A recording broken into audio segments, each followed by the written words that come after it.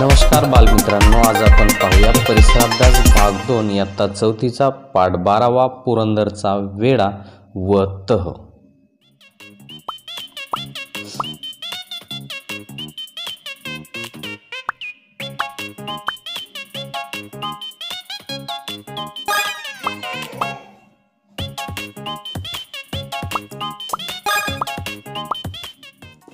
सुरतेवर छापा. या विजयानंतर शिवराय स्वस्थ बसले नाहीत.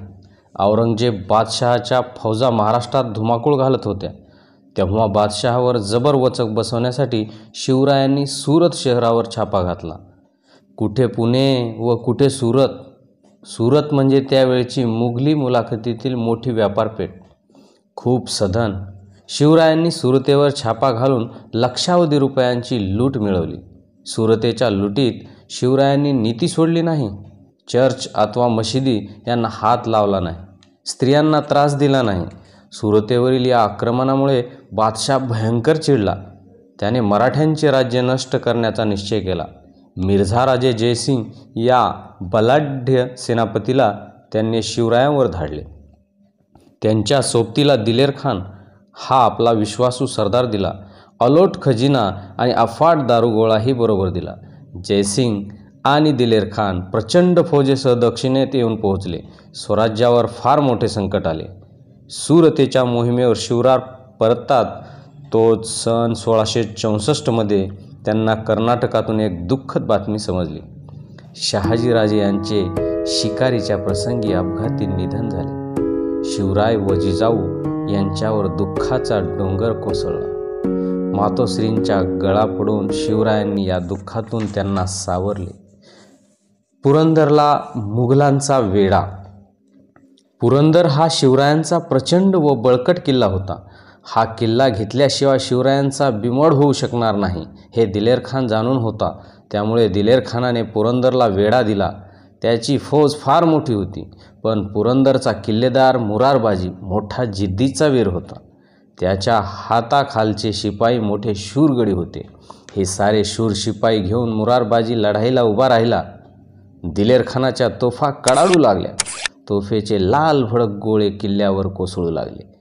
पण मुरारबाजी व त्यांचे मावळे हटले नाहीत. ते अधिक जोराने झुंजू लागले. मुघलांनी तोफांचा भडीमार केला. माचीचा बुरुज डासळला मुघल माचीवर घुसले. दिलेर खानाने माची जिंकली. मराठ्यांनी वरच्या बाले किल्ल्याचा आश्रय घेतला. ते लढतच राहिले. दिलेर खान आपल्या छावणीतून ही लढाई बघत होता. मुरारबाजी रागाने लाल झाला होता. त्याने पाचशे मावळे निवडले.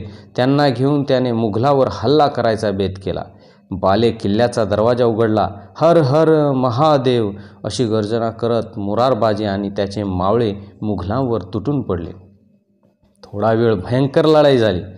मुघलांचे सैन्य अफाट होते पण मराठ्यांनी त्या सैन्यांचा धुव्वा उडवला.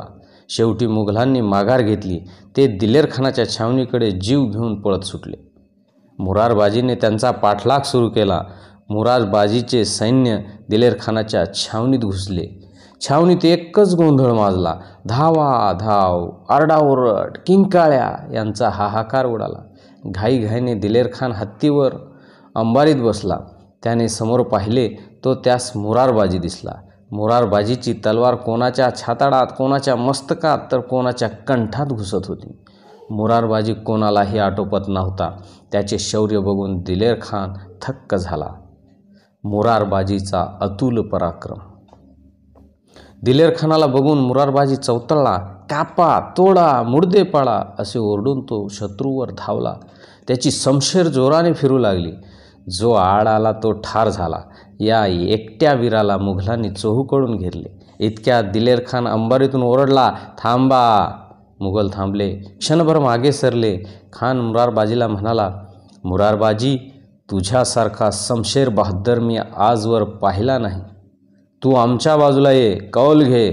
बादशाह तुला सरदार करतील जहागिरी देतील बक्षीस देतील. मुरारबाजीने दिलेरखानाचे शब्द ऐकले. रागाने त्याचे डोळे लाल झाले. तो चौताळून म्हणाला अरे आम्ही शिवाजी महाराजांची माणसं आहे. तुला कौल घेतो की काय? आम्हाला काय कमी आहे?